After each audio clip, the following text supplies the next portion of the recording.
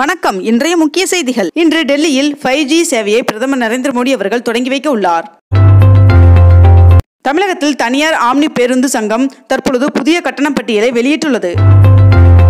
அண்ணா பல்கலைக்கழகம் தனது உறுப்பு பொறியியல் கல்லூரிக்கு அக்டோபர் மூன்றாம் தேதி விடுமுறை அளித்ததன் காரணமாக இன்று முதல் தொடர்ந்து ஐந்து நாட்களுக்கு விடுமுறை கிடைத்துள்ளது. திருவண்ணாமலையில் உள்ள அண்ணாமலை மீது தடையை மீறி ஏறி சென்று சுவாமியின் பாதத்திற்கு சிறப்பு பூஜை செய்து காட்சிகள் சமூக வலைதளத்தில் வெளியானதால் இளைஞருக்கு ஐயாயிரம் ரூபாய் அபராதம் விதித்து வனத்துறையினர் நடவடிக்கை எடுத்துள்ளனர்.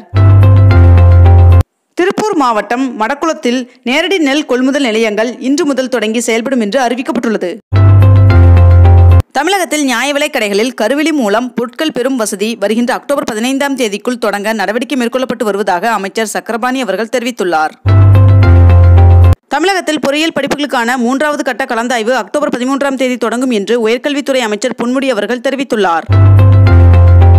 முன்னாள் அமைச்சர் ஜெயக்குமார் அவர்களின் மீதான நில அபகரிப்பு வழக்கை ரத்து செய்து சென்னை உயர்நீதிமன்றம் உத்தரவிட்டுள்ளது. சென்னை கோட்டத்திற்கு உட்பட்ட எட்டு ரயில் நிலையங்களில் இன்று முதல் நடைமேடை கட்டணம் பத்து ரூபாயிலிருந்து இருபது ரூபாயாக உயர்த்தப்பட்டுள்ளது என்று தெரிவிக்கப்பட்டுள்ளது. தமிழகத்தில் உள்ள நியாய விலைக் கடைகளில் விற்பனையாளர்கள் கட்டுநர்களை டிஎன்பிஎஸ்சி மூலம் நியமிக்க வேண்டும் என்று தமிழக அரசை பாமக நிறுவனர் ராமதாஸ் அவர்கள் வலியுறுத்தியுள்ளார்.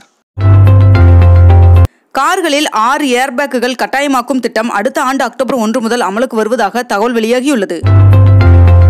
கர்நாடக மாநிலத்திலிருந்து பண்டிகை கால கூட்ட நெரிசலை தவிர்ப்பதற்காக தென் மாவட்டங்களுக்கு கூடுதல் ரயில்கள் இயக்குவதற்கு ரயில்வே நிர்வாகம் முடிவு செய்துள்ளதாக தகவல் வெளியாகியுள்ளது.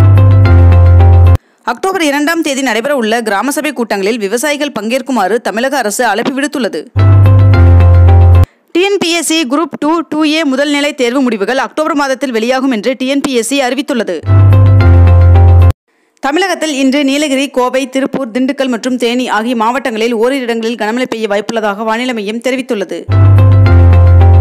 இருபத்தி ரெண்டு கேரட் ஆபரண தங்கத்தின் விலை சவரனுக்கு நூற்றி முப்பத்தி ஆறு ரூபாய் அதிகரித்து ஒரு சவரன் முப்பத்தி ஏழாயிரத்தி ஐநூற்றி எழுபத்தி ஆறு ரூபாய்க்கு விற்பனையாகிறது. அதேபோல் ஒரு கிராம் வெளியின் விலை அறுபத்தி ஒரு ரூபாய் ஐம்பது பைசாவாகவும் விற்பனை செய்யப்பட்டு வருகிறது. இத்துடன் இன்றைய தலைப்புச் செய்திகள் நிறைவடைகின்றன. மேலும் இதுபோன்ற அண்மை தகவல்களை உடனுக்குடன் தெரிந்து கொள்ள அக்னிபூ சேனலை சப்ஸ்கிரைப் செய்து கொண்டு தொடர்ந்து இணைந்திருங்கள். நன்றி வணக்கம்.